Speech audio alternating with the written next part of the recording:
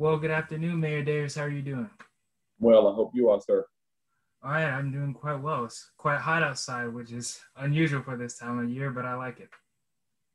You and I both. So uh, I'd like to start this interview off by thanking you for allowing me this opportunity to speak with you. I know you're a very busy man, so I want to thank you for that and everything you do for the city of Augusta. You're quite welcome. Well, it's my pleasure making your acquaintance, and uh, I look forward to uh, our conversation. Okay.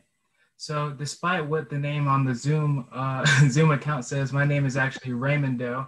Uh, I am the board chairman for Safe Homes uh, of Augusta. I'm their board chairman for the Teen Advisory Board. And one of my duties is traveling around the state of Augusta and promoting the awareness of teen dating violence. And the first question that I have for you is one that I always like to ask in engaging conversations like this with people. It's very straight to the point and engaging and it really sets up the the pre- the premise for uh, our message, and that is, did you know that the state of Georgia is ranked number one in the nation for teen dating violence? I did not know that, uh, and I find it very unfortunate that Georgia uh, is ranked as high as it is. Uh, as you've indicated, number one in the nation for teen dating violence. Uh, I find that surprising, while at the same time, I understand the trauma associated with abuse. Uh, more importantly, I think this gives us a unique opportunity to begin working on the challenges that teenagers are facing all across the great state of Georgia, and certainly without question here in Augusta and the CSRA. Uh, what I'd like to do uh, now that you know it's been brought to our attention is to understand what are those triggers, what's causing teenagers and young people to find themselves at the place of where they're committing acts of violence against one another. Right. So um, that's one of the big statistics. Uh, when I first joined this organization three years ago, uh, we were actually number three. So to learn that we were now number one was quite a shock to me. Uh, I'm going to throw uh, one more statistic at you just to really set up the foundation. Did you know that one in three adolescents experience some form of dating abuse from a partner? Again, those are statistics as uh, you prompted us with the desire to have this conversation. They were surprising to us, not just myself, but my office as well. And they gave us opportunity to really think about uh, the young people in our community. Uh, we have done a significant amount of work uh, from 2015 on engaging teenagers uh, across our entire community with our My Brother's Keeper initiative. We've found opportunities for us to engage both male and female alike we know that the global pandemic has certainly caused a series of challenges, uh, not just from a healthcare standpoint, uh, but the unrest, the emotional anguish tied with sheltering in place, quarantining, isolating, all of those words that have been used uh, to begin addressing uh, the more meaningful challenge of COVID 19 are front and center with us. And we have to find ways to engage young people across all platforms. Uh, and that's more importantly, requiring us to meet them where they are, especially when you've got individuals who are attending school virtually, as opposed to being on the school grounds with their uh, classmates, their friends, lifelong friends in most cases. And so uh, the statistics, while they are shocking, uh, they tell us that there's more work to be done in our community. Indeed. Indeed, I'm quite familiar with the organization of My Brother's Keeper. I know that they do, that they do a lot of good work. Um, referring to uh, the population, out of the thousands of teens that populate just the city of Augusta alone, just omitting Georgia in general, um, why do you why do you think that teen dating violence is such a prevalent issue? What makes it such uh, a popular issue that not many people know about? Well, I think you know, when you think about the issue of teen dating violence uh, and it being a prevalent issue in Georgia and here in Augusta, uh, people, you know, in this connected social and oftentimes global society that we live in, uh, many people are communicating in ways that we're not necessarily used to, or they're not the traditional methods of communicating. You know, as I think about some of the things we've heard and seen in our schools uh, and even in the community where uh, events pop off through social media uh, Snapchat, Facebook, and Instagram, and individuals say something or they read something that involves a colleague, a friend, a classmate, or a boyfriend or a girlfriend. And unfortunately, in this very socially connected society where information is instantaneous, uh, I don't have to run home and pick up a phone to call my friends, whether they be male or female, and tell them, uh, unfortunately, that someone said or done something that is offensive. And you find uh, instead of having tools to de escalate uh, in our networks as friends, as relationships, uh, they begin to escalate. And so, again, I think these uh, dynamics play a key role uh, in the high incidences and prevalence of teen dating uh, because you're communicating instantaneously now as opposed to having to hear about it in the cafeteria, in the lunchroom, or uh, in the gym, or on the football field, or track fields. You're hearing about it right now, and it's front and center with young people. And instead of again de-escalating in these very charged atmospheres, uh, not only that, uh, but when you look at you know some of the challenges uh, of Georgia's laws, um, and you have offenders who then become reoffenders uh, because there are challenges in our laws as it relates to uh, minor abusers or even individuals who are just dating. Uh, and a lot of times you find cases where individuals have been, quote, taught to be quiet. Uh, there are just a host of dynamics associated with where we are. Uh, in a lot of cases, you know, the incidence of teen dating violence may be higher than what we know because you have that other uh, case of where people were silent. Uh, but we've got a lot of work to do. I consistently say that there's a lot of work for us to do. I've already leaned into, I think, what may be one of the other questions you posed to them, and that's the narrative around technology, social media, uh, what they play in, you know, relationships. And so uh, I think that uh, is certainly part of this conversation as well. I'm very glad you're very correct. You're right on the money. And I'm very glad that you brought up uh, the significance of technology as it is casting a much wider net and is able to capture a wider variety of demographics. What I wanted to ask you uh, in relation to that is do you think that, uh, what is your take on the positive and negative aspects of technology? We all know that technology is can be used as a use for evil. It's used uh, for bad things all the time. Uh, do you think that uh, there are any positive ways we can use technology to positively influence the community and how should people navigate that without question you know um, technology can be used for many positive things uh, we can use technology to save a life instead of alerting all of our friends that uh, the latest beatdown is happening on World Star Hip Hop. You know, that's not where we need to be, especially if we're creating a moral society, a society that cares about its neighbor, that we are our brothers and sisters keeper. And so that's the thing that we want to continually advocate for youth, for teens in Augusta, Georgia, that let's take a higher road, a higher approach of truly being our brother and our sister's keeper so that we're not uh, dumbing life down to the latest, you know, 30 second video on our smartphone uh, that shows someone's hair being pulled out uh, that shows someone, you know, fighting and in those things, let alone taking advantage of a young lady. Uh, we need to raise up young men uh, in today's society. We need to teach young men how to be honorable young men. We need to teach them what it is to not only quote date a girl, but to make sure that I open the door for her, uh, as opposed to saying, "Get in the car let's go." Um, those things become lifelong lessons they become transformative in nature. And so when you think about, again, technology, uh, it has its positive impacts on society, but in terms of team relationships, uh, it's also proven to have negative influences. When you look at Teenage Research Unlimited, they talk about digital dating abuse as a serious problem in which abusers, they use uh, technology to control their partners through harassment, through text, and through calls. Uh, one of the most embarrassing things that we see happening uh, and quite frankly troubling is to use technology for bullying.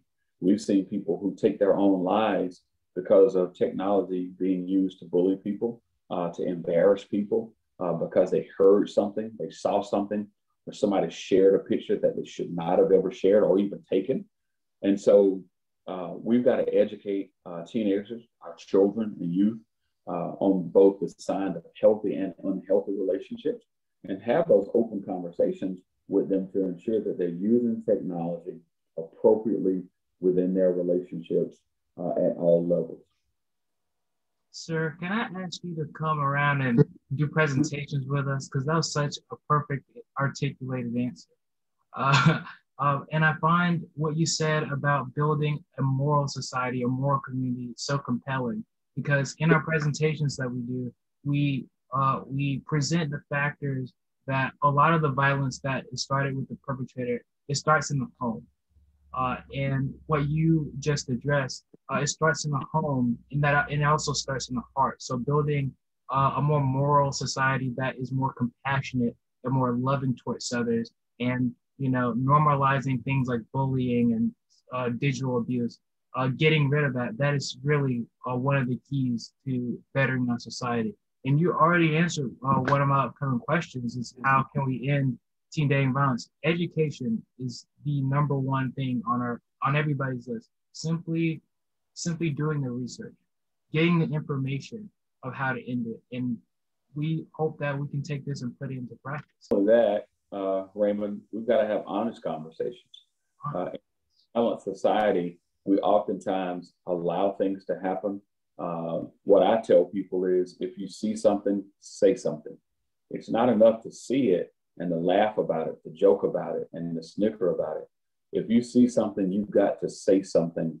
You know, we watch television shows uh, and we see uh, people taken advantage of.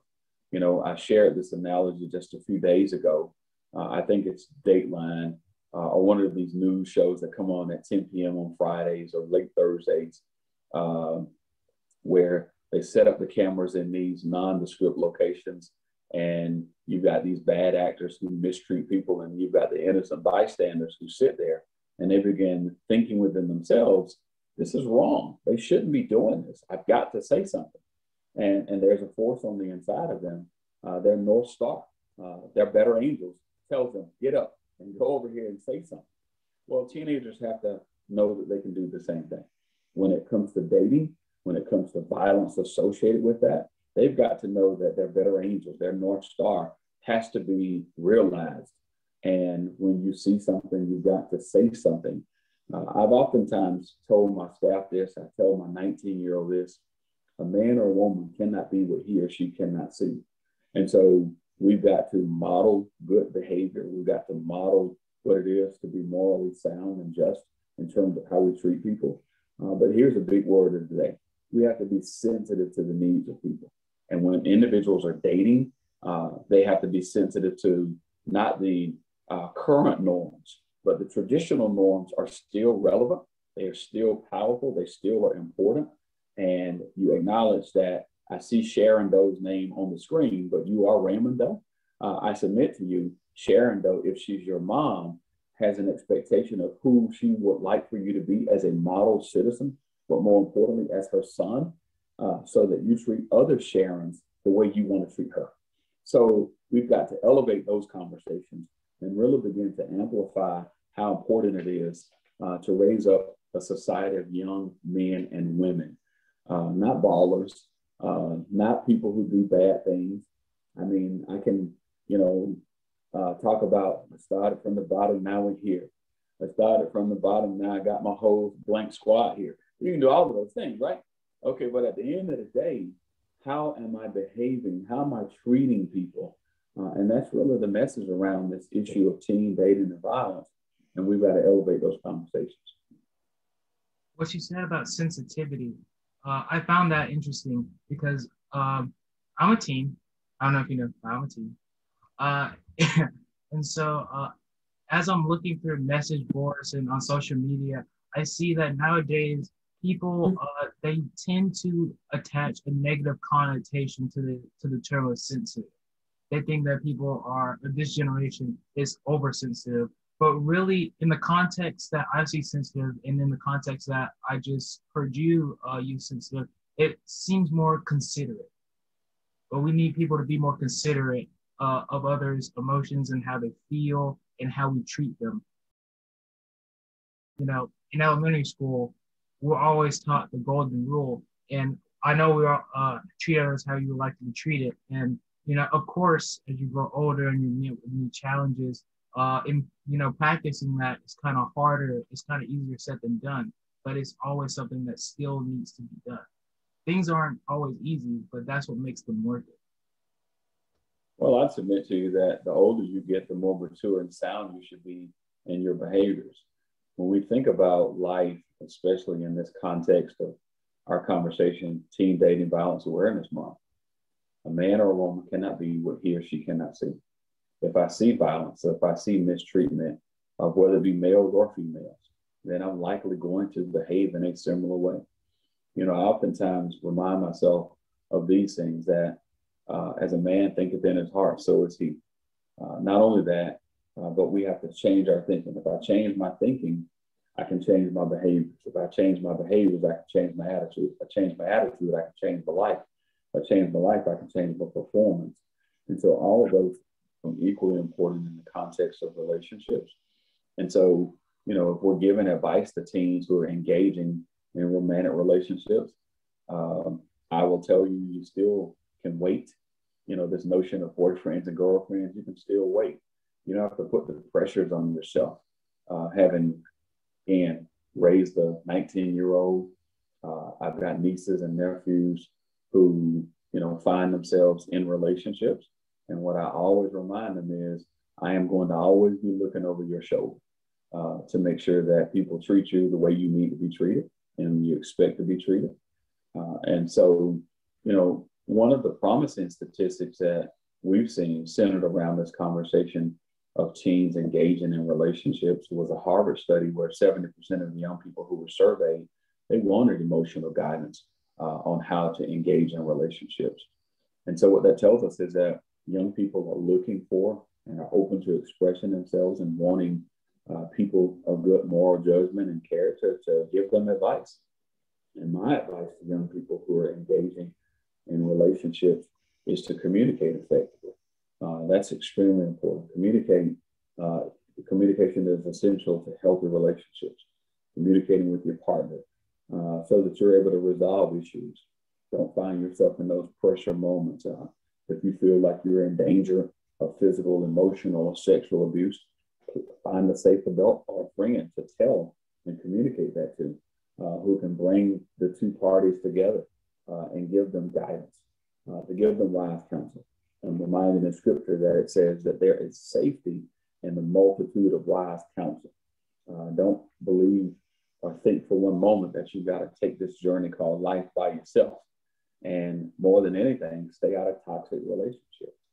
Uh, you got to value yourself. Every person needs to value himself or herself uh, in ways that sometimes other people don't.